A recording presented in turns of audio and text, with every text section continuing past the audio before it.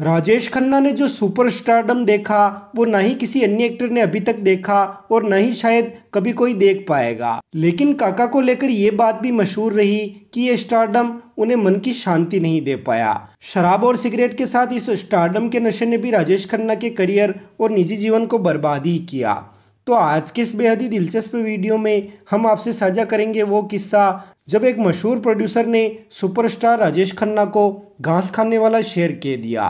तो फिर आप चैनल को सब्सक्राइब करके वीडियो को पूरा देखते रहिए।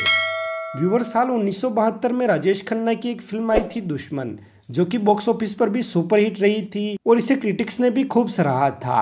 दुश्मन फ़िल्म के गाने भी सुपरहिट रहे थे जिन्हें आज भी काफ़ी पसंद किया जाता है। झूठा है तेरा वादा वादा तेरा वादा। फ़िल्म में राजेश खन्ना के अलावा मीना कुमारी मुमताज़ कन्हैया लाल असित सेन अभी भट्टाचार्य और अनवर हुसैन तथा के एन सिंह जैसे अभिनेता नज़र आए थे और फ़िल्म के डायरेक्टर थे दुलाल गुहा और फ़िल्म को प्रोड्यूस किया था प्रेम जी ने।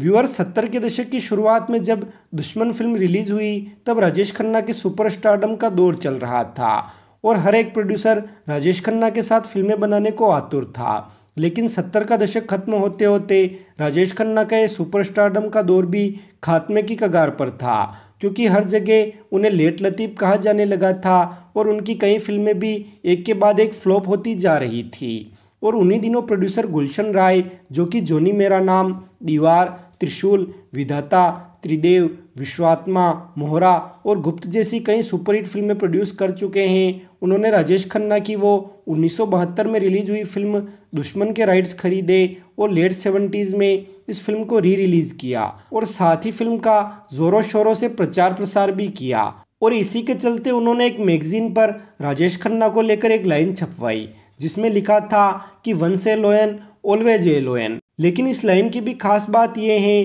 कि इसे गुलशन राय ने राजेश खन्ना का मज़ाक उड़ाने के लिए एक चुटकुले के तौर पर लिखवाया था और राजेश खन्ना इसे सच समझ बैठे थे और ये सोचने लगे कि गुलशन राय उन्हें रिप्रेजेंट करने वाले हैं और इसी के चलते राजेश खन्ना ने गुलशन राय को घर बुलाकर डिनर भी करवाया।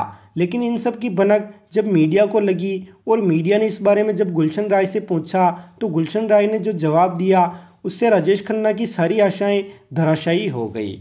गुलशन राय ने कहा कि मैगजीन में जो लिखा है, वो तो एक चुटकला है। क्योंकि राजेश खन्ना को रिप्रेजेंट करने से अच्छा है कि मैं संजय दत्त जैसे नए चेहरे को प्रेजेंट करूँ, क्योंकि राजेश खन्ना जैसे चेहरे बार बार देखकर पब्लिक थक चुकी हैं, उन्हें नए चेहरे चाहिए। और रही बात शेर की तो राजेश खन्ना शेर तो हैं, लेकिन घास खाने वाला शेर। क्योंकि आज राजेश खन्ना उन लोगों के साथ काम कर रहा है, जिन लोगों ने उसे कई फ़िल्मों से निकलवाया। दरअसल गुलशन राय ये सब इसलिए कह रहे थे क्योंकि राजेश खन्ना उस समय रमेश तलवार की फ़िल्म जमाना में काम कर रहे थे। और रमेश तलवार ने जमाना से जस्ट पहले यश चोपड़ा की फ़िल्म दूसरा आदमी डायरेक्ट की थी, जबकि यश चोपड़ा के साथ राजेश खन्ना के संबंध अच्छे नहीं थे। क्योंकि यश चोपड़ा के प्रोडक्शन की पहली फ़िल्म दाग बनाने में राजेश खन्ना ने यश चोपड़ा की बहुत मदद की थी। और राजेश खन्ना को ये उम्मीद थी कि यश चोपड़ा की अगली फ़िल्म दीवार के हीरो वही होंगे। लेकिन यश चोपड़ा ने दीवार के लिए अमिताभ बच्चन को साइन कर लिया और दीवार के लिए राजेश खन्ना के स्थान पर अमिताभ बच्चन को साइन करवाने के लिए राइटर जोड़ी सलीम जावेद ने यश चोपड़ा पर दबाव बनाया था। और मज़े की बात यह है कि जिस जमाना फ़िल्म में राजेश खन्ना काम कर रहे थे, उसके राइटर भी सलीम जावेद ही थे, जिन्होंने उन्हें दीवार से निकलवाया। और साथ ही ज़माना में राजेश खन्ना के को स्टार थे ऋषि कपूर। और ऋषि कपूर की वजह से ही राजेश खन्ना को उस समय कई फ़िल्मों से निकाला गया था।